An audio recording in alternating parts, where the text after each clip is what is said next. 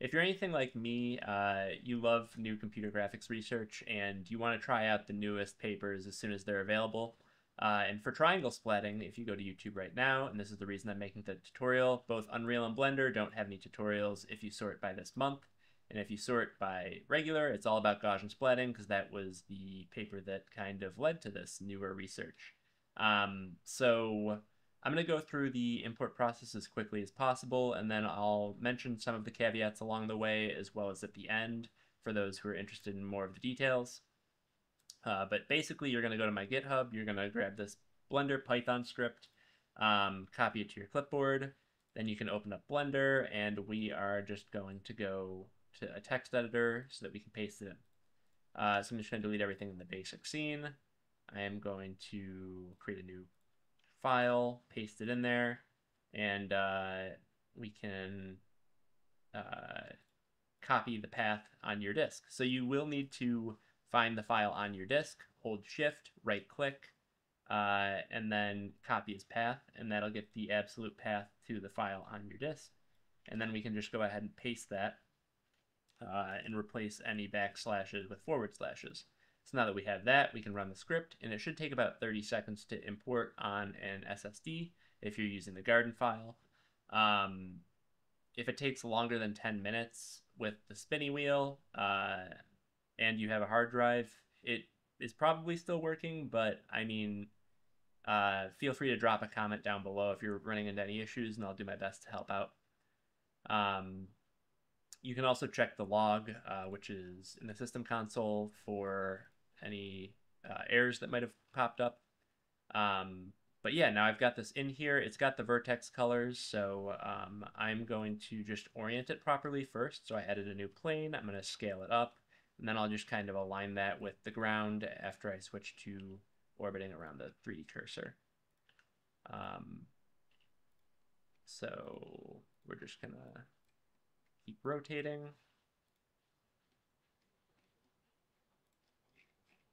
This is feeling pretty flat. And uh, I'm just going to go to the top view, bring it to the center, rotate it a little bit more. Oh, I'm doing it the wrong way. Oh, no, I've messed it up. All right, that looks pretty flat. So I'm going to go to the top view with um, 5, 7, and then I can uh, rotate it to be kind of square. Um, and now it's in Blender at the place that I want it to be. All right, Blender had crashed on me for whatever reason, so I'm just going to hide that um, and uh, show you how to make it look uh, proper. So I'm just going to switch to the GPU compute. You don't need to do that just for a faster preview.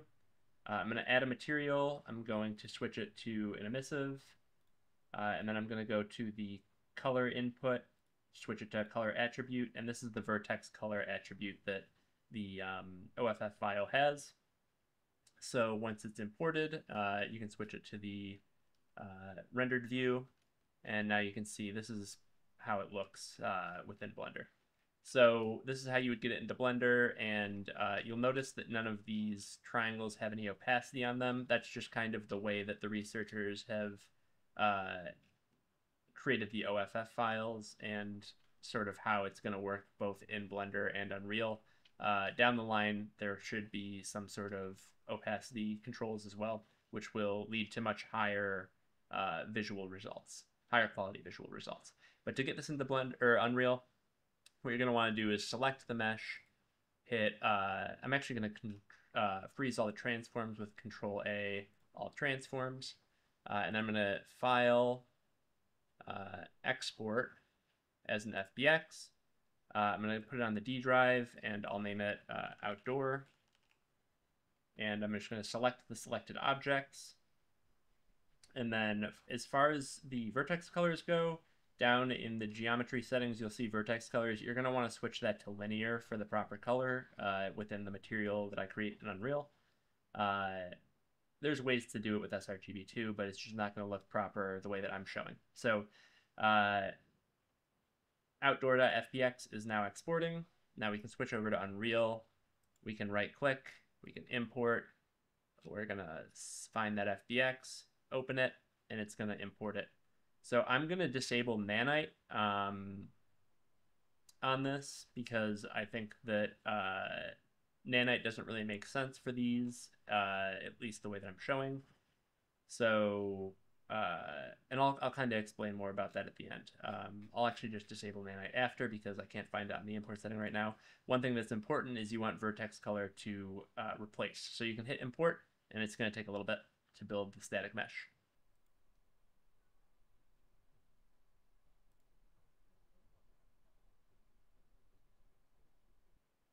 All right, so now that they're imported and um, in Unreal, I'm just gonna I'm gonna create a new level. It's gonna be a completely empty level, and uh, I had already disabled nanite, so I'm just gonna drag it into the level, uh, and I will zero out that transform. Um, it's generated uh, collision by default, so when you go into play mode, it's gonna pop your character up on top, but I'll go over how to get around that as well. So this is the material that it brought over from Blender. We're just gonna delete all that. I'm going to switch it to a unlit material. And then uh, what I need to do is just look for a vertex color uh, attribute. We can go drop that into the emissive, hit save, and you'll notice, bam, all right, that looks just like it should. Um, so this is triangle splatting in Unreal. Uh, you've got the object in here now. Now I'm going to go into some more of the details and caveats with this, uh, as well as sort of performance metrics. Um, so Unreal Engine definitely isn't the best engine for high FPS values. Uh, if I go to the triangle splatting uh, GitHub page, um, actually, sorry, the uh, their yeah their GitHub IO, um, you'll notice that down here they mention that the FPS readings that they're getting is upwards of 2000 FPS on a at a 720p on a 4090. In Unreal, you're not going to quite get that because there's a lot of uh, more expensive behind the scenes stuff that happens over a very basic triangle render, which is what I'm assuming that they used here.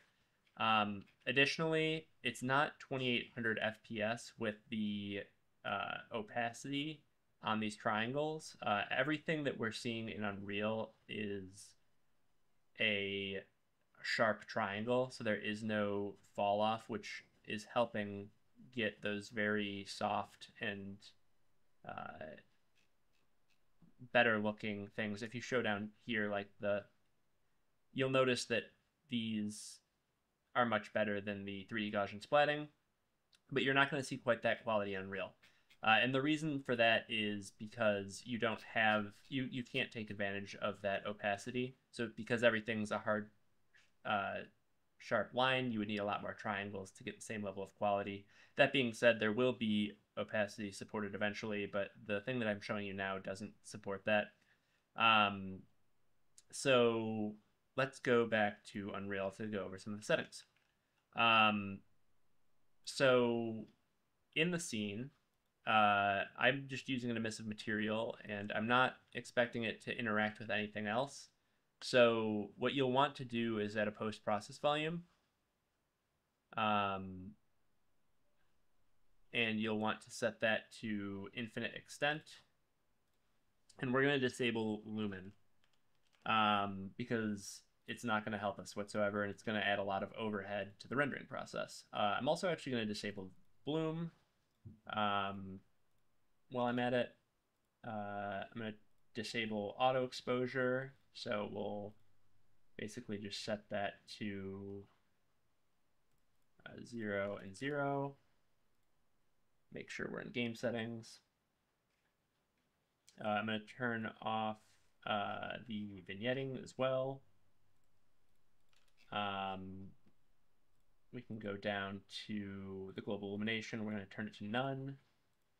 Also in the reflections, none. And this is just going to help improve our FPS um, as we are kind of checking out what the performance we're getting on Unreal is. Um, so now that we have all of that, let's check on show FPS. We'll see we're at 120 um, so I'm going to go actually T max FPS and change that to 480. so that we're not capped anymore. Um, and when I full screen it, uh, you'll notice, um, oh, I guess screen percentage is already at 100. Um, but if I go into play mode, uh, actually on the post process, I'm also going to disable motion blur. So now that I've got all those settings in the post process, they're not necessary. They're just kind of what I recommend for checking out these these splat files. Um, if I go into play mode, uh, there is a bounding box on this for collision, so I'm going to actually disable that. I'm going to go to collision.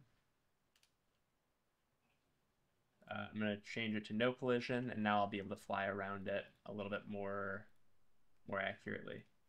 I'm actually going to set this to zero for exposure compensation. So when I go into play mode, uh, I can now kind of fly around with the WAS and D keys. Um, another thing I want to note is that um, you can use the tilde key and do uh, r.anti-aliasing method. And I like setting that to one for this instead of temporal because it uh, it looks uh, it doesn't make as much sense to be using temporal anti-aliasing when you have this many triangles kind of all sort of interpenetrating with each other. I think this ends up looking way better. Um, another little uh, thing that I use is r dot screen percentage. Uh, and you do you access the console with the tilde key. Um, and I set that to 100.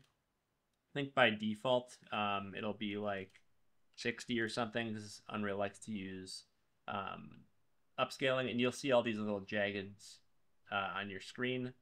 Um, but if you set it to 100, uh, those should go away, and it'll be a lot a lot less stair steppy.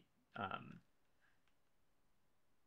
so uh, at 4K, you'll see that I'm getting about 300 FPS ish um, on a 5090. Um, so that's pretty good. But like uh, I mentioned, Unreal is definitely not the optimal game engine to be viewing all of these triangles in. And uh, I also wouldn't recommend turning on Nanite for this. Um, and the reason for that is because Nanite works best when it has continuous surfaces.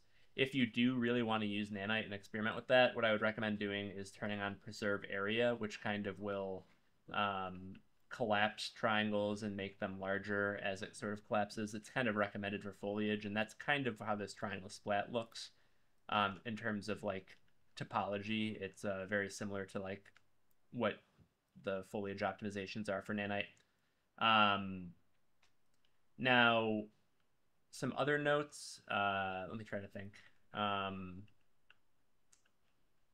the big thing with triangle splatting and Gaussian splatting is file size. So if you're trying to do animated uh, Gaussian splats or, or um, triangle splats, having a lot of VRAM is a huge uh, boost, but you're even still going to need most likely some sort of uh, either a very large, fast disk drive or um, or a, to write a compression algorithm for triangle splatting to get 4D splatting working at a decent frame rate. Uh, and the reason for that is if you check out the size map, um, and you'll see on disk it's only 120 megabytes, but when it comes into memory, which is what it looks like on your GPU, you're looking at over a quarter of a gigabyte. So over a third of a gigabyte actually. So you'd only be able to get three frames per gigabyte on on this outdoor scene. Granted, this is like 1.5 million triangles or something like that, which is a lot. Um, and not all 4D Gaussian splat uh, use cases will need that many triangles, but uh, you're you're going to be very limited in uh, 4D splatting um, because you're going to need to stream a third of a gigabyte per frame, which is going to limit you pretty pretty heavily, especially if you don't have a, a huge super fast NVMe.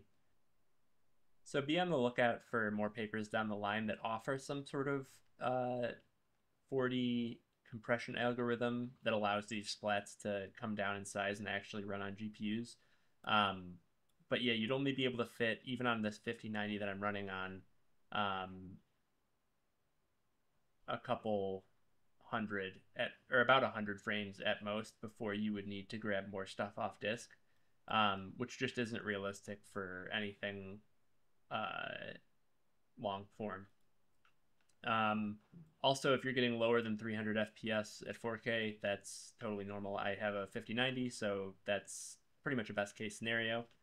Um, and if you have any other questions, feel free to let me know. Uh, and like I said, the big caveat here is all of these triangles are completely solid, whereas if you really want that really good noise values that are beating the Gaussian splatting noise values, um, you're going to need to use, leverage the opacity as well, and that just isn't available. Um, the test files for you to grab uh, that they have provided is on Google Drive, and you can grab them on their GitHub page uh, at this link. Um, and those are those OFF files that I am experimenting off of. Um,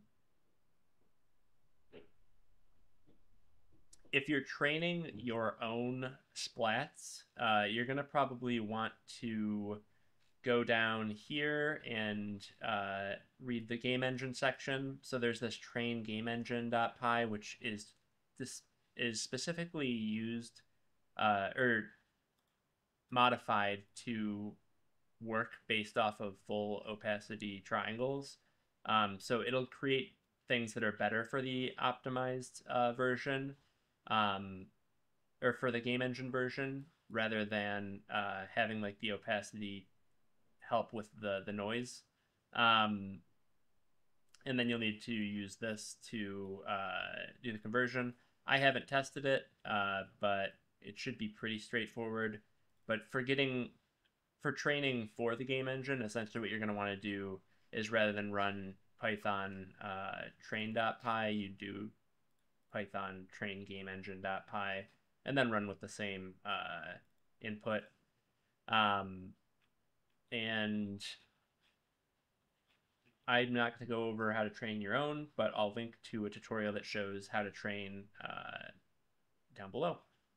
Let me know if you have any questions.